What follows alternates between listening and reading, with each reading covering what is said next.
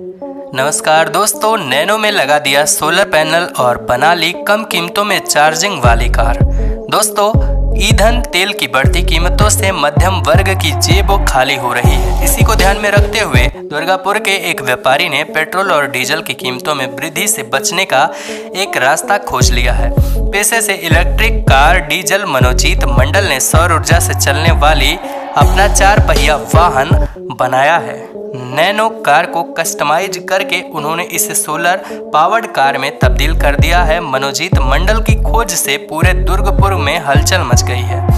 मनोजीत मंडल की खोज बेहद साधारण में भी अनोखी है। कार की छत पर सोलर सोलर पैनल लगाए गए हैं, जिसके ज़रिए बैटरी चार्ज हो जा रही है और कार उसी बैटरी के दम पर चल रही है। सौर ऊर्जा से चलने वाली कार बनाने के लिए नैनो कारों को चुनना बहुत ही पर्याप्त कारण है। सबसे बड़ा कारण यह है कि नैनो कार सबसे सस्ती है और उसे ले जाने के लिए ज़्यादा देर चार्ज भी नहीं करना पड़ेगा, क्योंकि उसकी बैटरी भी बहुत जल्दी चार्ज हो जाएगी। क्योंकि उसमें बहुत ज़्यादा, बहुत बड़ी बैटरी नहीं लगानी पड़ेगी। तो दोस्तों, क्या है आपकी इस खबर के बारे में राय? नीचे कमेंट बॉक्स में दीजिए।